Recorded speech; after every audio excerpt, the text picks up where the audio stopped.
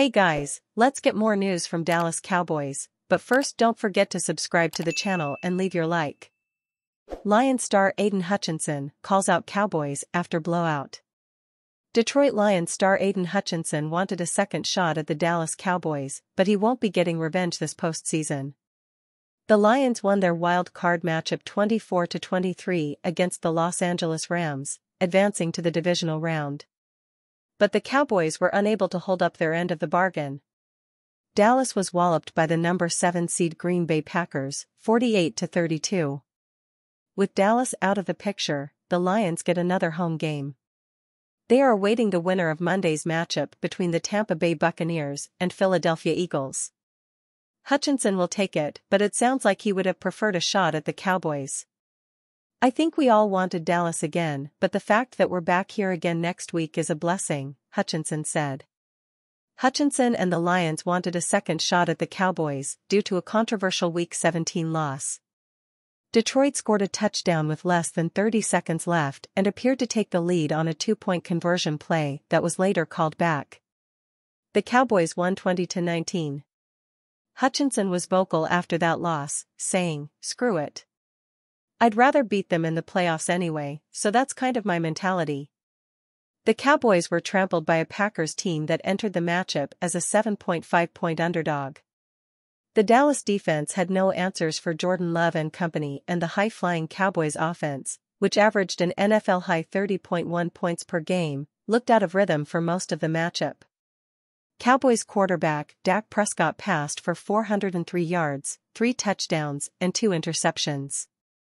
But that stat line is a bit deceiving, with the majority of his production coming with the game out of reach.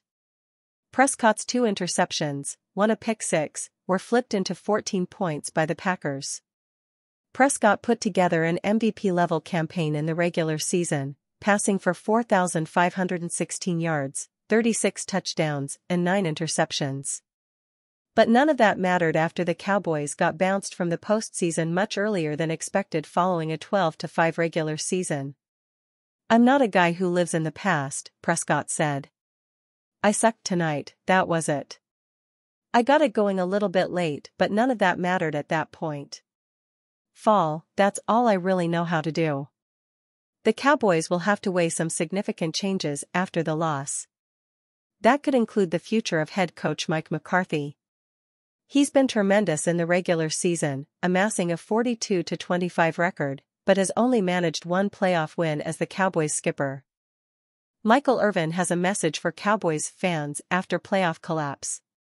The Dallas Cowboys had one of their best regular seasons in recent history.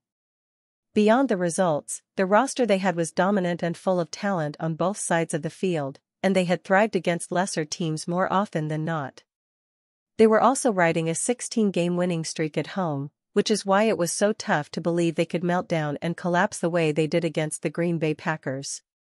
Following the loss, team legend Michael Irvin took to Twitter to rip the players and the organization.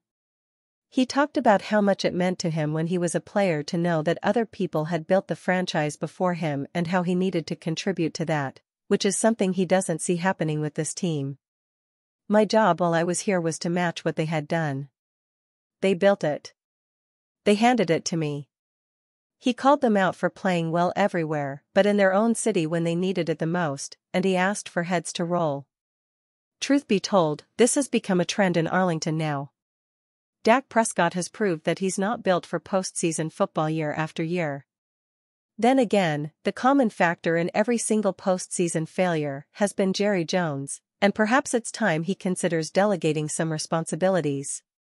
One cannot expect different results after doing the same thing over and over, and any other executive not being a team owner would have been fired years ago after so many postseason meltdowns.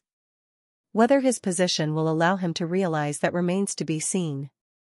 Cowboys urged to replace Mike McCarthy with Deion Sanders, culture changer.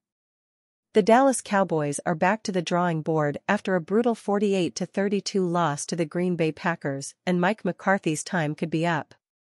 The Dallas head coach is now 1-3 in the playoffs with the team, with fans and media members calling for his job. The latest? Robert Griffin III. The former Washington football team and Baltimore Ravens quarterback announced his take on January 15. In a video, he not only calls for McCarthy's job, but also tells the Cowboys to hire team icon Deion Sanders.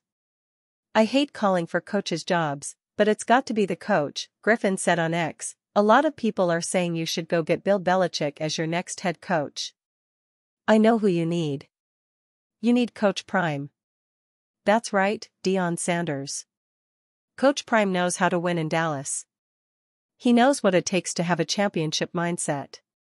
He knows how to hold his guys accountable, and he's a culture changer. Hiring Sanders, who has never coached at the NFL level, would be a blockbuster move, to say the least. It doesn't seem like a likely outcome, but he may be in the running if McCarthy is ousted. Besides Griffin, plenty of other coaches are being listed as McCarthy replacements. Griffin's ESPN colleague, Kevin Clark, has suggested another college coach, the recently retired Nick Saban. Saban could be considered the greatest college football coach of all time, but his stint as an NFL head coach with the Miami Dolphins was an infamous failure. Still, Clark thinks that Saban would be the best overall option. The second person I would call is Nick Saban, one of the greatest coaches in the history of football, Clark said on January 15. A bad rap in Miami, some people say he couldn't relate to millionaire athletes. That is not what happened. He left, for, the college game because he felt he couldn't control his own destiny once the Dolphins doctors said he couldn't sign Drew Brees. Saban retired earlier this month from Alabama after seven national titles and a gigantic legacy. It doesn't seem like the NFL or the Cowboys could draw him out of retirement, but Clark still thinks the call is worth making. When McCarthy was brought in, the idea was that he could finish a season. Dallas had some regular season success with former Jason Garrett, but McCarthy had a Super Bowl ring to his name and they were looking for postseason wins.